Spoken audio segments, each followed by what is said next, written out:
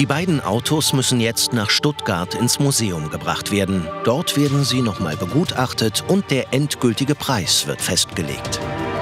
Wenn das mit dem Preis, den ihr gerade genannt habt, 100.000 Euro, äh, wenn es nicht äh, arg weniger wird. Da sind wir sehr optimistisch. Ja. Da seid ihr optimistisch, dass es eher mehr wird, ja. höre ich da gerade raus. Dann und? bin ich auch optimistisch und. Ich auch. Du auch? Und für viel haben Sie jetzt die Leute, Leute von Porsche vertraue ich auch. Ja, selbstverständlich. Gut, dann haben wir also jetzt ein Geschäft. Wahnsinn. Das dürfte der wertvollste Handschlag in der Geschichte des Trödeltrupps sein. Kein Wunder, dass Bernd und Otto um die Wette strahlen. Super, wann äh, holt ihr die Autos hier ab? Ja, wir würden uns am Montag melden. So schnell wie, cool. möglich. Also im Idealfall Dienstag, Mittwoch oder so. Das, das ist realistisch. Und äh, wir bieten Ihnen an, wir schicken Ihnen ein Flugticket. Sie kommen nach Zuffenhausen, sind mit dabei. Ja, gern. Dann machen wir das. Das ist mehr als ein großer Schatz für mich geworden. Ne? Also ich dachte, ich habe was Wertvolles für mich selbst, aber jetzt sehe ich, dass es für andere auch sehr wertvoll ist. Und das ist natürlich toll. Der rote Porsche 901 ist womöglich 20 Mal wertvoller, als Bernd vermutet hätte. Dieses Angebot übertrifft alle Erwartungen. Ja, das dauert jetzt ein paar Wochen, bis die Gutachten für die Autos fertig sind. Dafür werden die beiden Sportwagen in einem geschlossenen Transporter zu Porsche nach Stuttgart gebracht. Dort wird zunächst der Zustand der Autos akribisch dokumentiert. Alles wird fotografiert und vermessen. Dann ist es soweit. Das Museum hat die Gutachten erstellt. Heute wird sich zeigen, wie viel die beiden Porsches tatsächlich wert sind. Otto, Bernd und seine Ex-Partnerin Birte, die Eigentümerin der Wagen, sind nach Stuttgart gereist. Bist du nervös? Ja, sehr. Also ich bin reichlich gespannt, was da jetzt auf mich zukommt. Ne? Ich habe sehr schlecht geschlafen. Immer stundenweise nur. Und äh, ja, abwarten ist, was jetzt kommt. In der Werkstatt des Museums werden Fahrzeuge für die eigene Sammlung restauriert. Diese umfasst ca. 450 Exponate. Und bald steht vielleicht auch der Porsche 901 hier, auf dessen Gutachten alle gespannt warten. Was haben die Gutachten ergeben oder wie sehen die aus? Dürfen wir da mal reingucken? Dürft ihr gerne reingucken. Wir haben zu beiden Wagen jeweils zwei Gutachten. Ah, cool. Udo, magst du Gern. ganz kurz die technische Seite Danke. erklären? Mich interessiert ja der rote eigentlich sehr, sehr brennend. Der rote ist, denke ich mal, das äh, interessanteste Objekt von uns. Äh, ah, mit Fotos. Ja, was? wir haben also. Ich halte das mal so. Äh, Bernd, dann kannst du auch mit reingucken. Ja, ich gucke dir über die Schulter. Werkstattleiter Kuno Werner erläutert das Gutachten. Wir haben den Wagen komplett angeschaut. Wir haben auch die Teile geortet und gefunden, die, die dabei waren und haben uns dann ein Bild verschaffen können, in welchem Zustand sich das Fahrzeug befindet und was wir daraus noch machen möchten. Wie du siehst, tut sich das Ganze wie ein Puzzle zusammensetzen ja. aus vielen Faktoren. Ähm, das sind jetzt die positiven Dinge. Schade ist ein bisschen, der Motor, der drin ist, ja. ist ein typgleicher Motor, was wieder gut ist. Ja. Leider aber die äh, fortlaufende Nummer ist eine andere. Das ist ein Problem, denn es mindert den Wert des Wagens. Das aber, heißt aber aus, dem, aus dem gleichen, gleichen Modell. Mhm. Ja. Äh, und auch das Getriebe von der Nummer ist leider nicht identisch. Im Laufe der Jahre wurden also Motor und Getriebe von Bernds Porsche getauscht. Das ist nicht schön, aber keine Katastrophe. Denn wichtiger sind ohnehin andere Nummern. Die Fahrgestellnummern sind die, gepasst, ne? sind die auch so eingeschlagen, wie sie früher waren ja, und so weiter. Das war aber das, alles. Das war ein original gekauftes Auto, ne? Das genau. Die sind im Armaturenbrett? Gibt es auch, ja. Es gibt mehrere Nummern in vorne, so einem Fahrzeug. Die ist hier vorne im, Motorraum. Also und, nicht im Motorraum, sondern im Tankraum. Genau. Mit den Fahrgestellnummern ist bei Bernds 901 zum Glück alles in Ordnung. Das Auto ist wirklich der Wagen, der als Nummer 57 vom Band rollte. Das wird mit Sicherheit eine Mammutsaufgabe auch für uns Fachleute werden, äh, den Wagen wieder so zu machen, dass er aussieht wie neu. Ne? Genau, dass er so wieder in dem Ursprungszustand ist, wie er mal das Werk verlassen aber ich hoffe, dass ich mir den noch mal angucken kann, wenn es soweit ist. Herr Ebold, natürlich dürfen Sie die Restauration des Wagens verfolgen, aber Sie sind auch immer gern gesehener Gast hier im Porsche Museum und natürlich auch eingeladen, wenn wir das Fahrzeug in die Ausstellung Das ist toll, das freut mich. Danke. Ich glaube schon, dass das hier genau richtig ist. Kann also, wenn der wieder richtig schick gemacht ist, das ist ein Traum, das Auto. Das war ein Traum für mich damals. Der blaue, der da hinten steht, ist das nicht der gleiche? Oder so ein ähnlicher?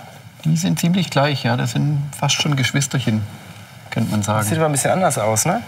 Ja, da ähm, ist hier noch einiges Arbeit zu tun, um in den Zustand zurückversetzen. Ja, da gehen wir doch mal hin. Lass uns den mal angucken. Ja. Ich will mal auch mal sehen, wie der Wagen aussieht, wenn er fertig ist. Vom Traumzustand des blauen Porsches ist Bernds Auto natürlich noch hunderte Arbeitsstunden und Zehntausende Euro entfernt. Aber irgendwann wird er genauso niegelnagelneu aussehen. Wow, der sieht ja aus wie Der Chrom allein, ne? frisch aus dem Werk. Bernd darf sogar Platz nehmen. Ein unvergleichliches Erlebnis und eine Zeitreise. Ich fühle mich 30 Jahre jünger. Hm? Zum Auto. Wenn es jetzt noch rot gewesen wäre, dann wäre es komplett. Bernd hat viele schöne Erinnerungen an die Zeit mit seinem roten Porsche. Das bewegt ihn sehr. Jetzt wird's, jetzt wird's ernst. Ich, ich zitter innerlich. Ich, man sieht's nicht, aber ich zitter innerlich. Ich würde gerne anfangen mit dem 67er 11er, der natürlich auch einiges noch an Restaurationsbedarf hat, wie man sieht. Allerdings, man könnte auch sagen, dieser Porsche ist ebenfalls mehr oder weniger ein Wrack. Hierfür würden wir Ihnen einen Preis von 14.500 Euro anbieten. 14.500 Euro für diese abgewrackte Rostlaube. Bernd ist sprachlos. Da hat er wohl alles richtig gemacht, als er auch diesen Porsche aufgehoben hat. Ich glaube, das ist ein angemessener Preis. Wir müssen ja noch einiges in die Fahrzeuge reinstecken. Also denke ich, das ist absolut fair für den 67er. Finde ich super, super Preis. Dann kommen wir zu dem Fahrzeug. Er sieht ja noch ein bisschen desolater aus. Da ist es uns natürlich auch nicht leicht gefallen. Das Gutachten war deutlich umfangreicher. Bernds 901 ist zwar völlig mürbe, dafür ist er aber extrem selten. Er ist einer von nur 82 jemals gebauten. Und hier würden wir Ihnen einfach gerne einen Preis anbieten von, ich muss selber noch mal nachschauen, weil ich es kaum glauben kann, 107.000 Euro. Eine unfassbare Summe. Trotz des nicht nummerngleichen Motors samt Getriebe ist dieses Angebot sogar noch 7000 Euro höher als erwartet. Bernd ist emotional im Ausnahmezustand. Mir fehlen auch, mir fehlen auch die Worte so einfach. Ne? Also jetzt äh, in dieser Aufregung, also ich, ich äh, zitter und schwitze und äh, alles auf einmal. Ne? Also Das heißt in Summe für beide Fahrzeuge 121.500 Euro. Ein Neustart für Bernds Leben. Ein großer Teil seiner Schulden ist getilgt. ich kann jetzt nicht laufen. Ich, bei mir ist der Blutdruck hochgegangen. Hm, Also toll. 100, 21.000. 21.500. Beide Fahrzeuge, die Sie herstellen. Wahnsinn. Das fantastische Ergebnis lässt alle strahlen. Und Museumschef Achim Steiskal hat ein gutes Gespür für Bernds heimliche Wünsche. Es ist ja jetzt schon ein Weilchen her, dass Sie mit einem 11er ähnlichen Baujahres gefahren sind. Und wir würden Sie einfach gerne einladen, mit dem blauen, in dem Sie vorher schon eine Sitzprobe gemacht haben, einfach eine kleine Runde hier ums Porsche Museum zu drehen. Was halten Sie davon? Geil. Toll. Äh, Wird, wird mir viel riesen Spaß machen. Steigen Sie ein, fahren Sie los. Schlüssel steckt. Das lässt sich Bernd nicht zweimal sagen.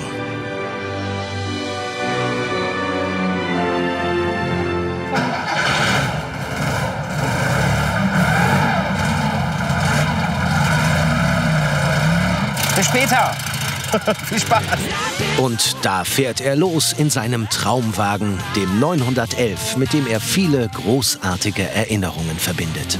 Das war ein ganz tolles Gefühl, das war ein ganz geiles Gefühl, das war ein super geiles Gefühl. Also mal wieder so ein Porsche, den Porsche Sound und äh, den direkten Kontakt zur Straße, war herrlich. Auch Otto ist begeistert. Also das ist eigentlich einmalig, so ein Auto zu finden und dann auch noch den richtigen Käufer dafür. Ähm, das war ein mega Geschäft. Das muss man sich mal überlegen. Das sind 121.500 Euro. Das ist eine mega Summe.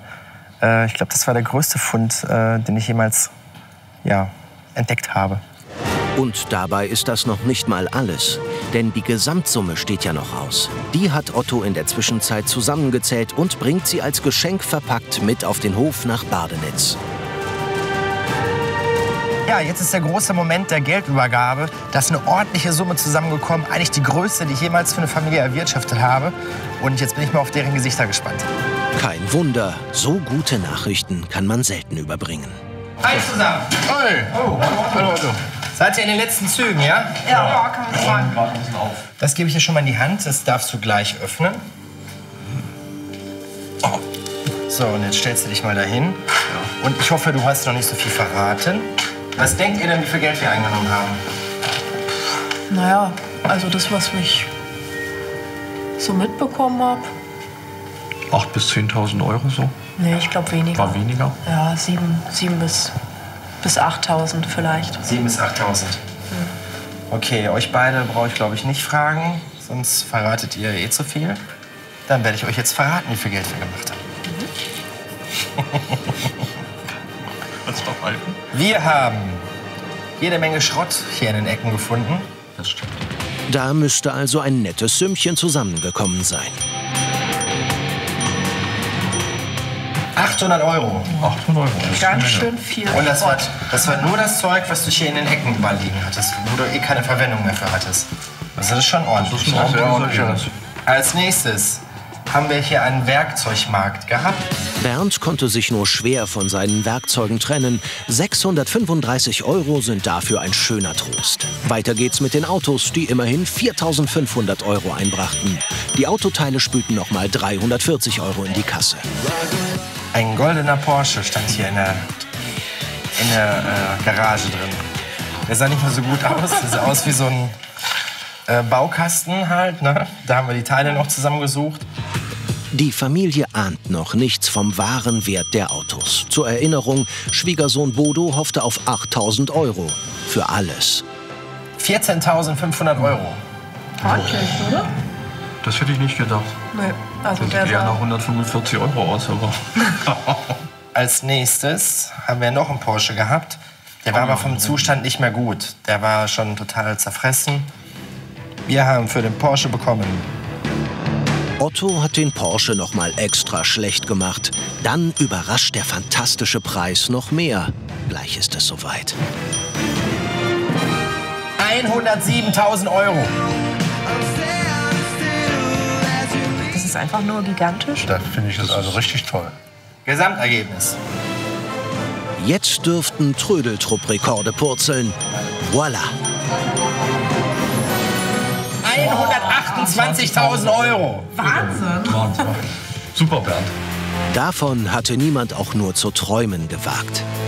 So, Bernd, jetzt darfst du auch mal das Ding aufmachen, was du da in der Hand hast. Ja, Ich helfe dir da mal bei, ja? Zum letzten Mal präsentiert Otto Bernd und seiner Familie eine Überraschung. Was hat er sich dieses Mal wieder einfallen lassen? Einen Koffer voller Geld. Ist das nicht cool? Wahnsinn. das ist ja cool, ja. Wer würde nicht gern mal so einen Koffer voller Bargeld bekommen? Ein Wahnsinnsanblick. So viel Geld auf einen Haufen habe ich noch nie in meinem Leben gesehen. Wird wahrscheinlich auch das einzige Mal sein, wenn ich so wirklich noch mal wiedersehe. Dann ist ja mein Einsatz jetzt hier beendet. Schade. Schade, ja. Schade, hätte weitergehen können. Kannst Ne? gerne wiederkommen. Hat Spaß gemacht. Und Otto nochmal recht vielen Dank. Also, du hast mich glücklich gemacht. Das ist doch schön. Bernd kann einen großen Teil seiner Schulden bezahlen und ist hoffentlich nicht mehr auf Sozialleistungen angewiesen. Und auch für Birte hat sich der Einsatz des Trödeltrupps gelohnt. Ja, ich glaube, um Bernd muss ich mir keine Sorgen mehr machen. Die Summe, die wir erwirtschaftet haben, die ist riesig groß. Das war wie ein Sechser im Lotto. So viel Geld hat der Trödeltrupp noch nie erwirtschaftet. Aber man kann ja nie wissen, vielleicht wartet der nächste Rekordfall schon.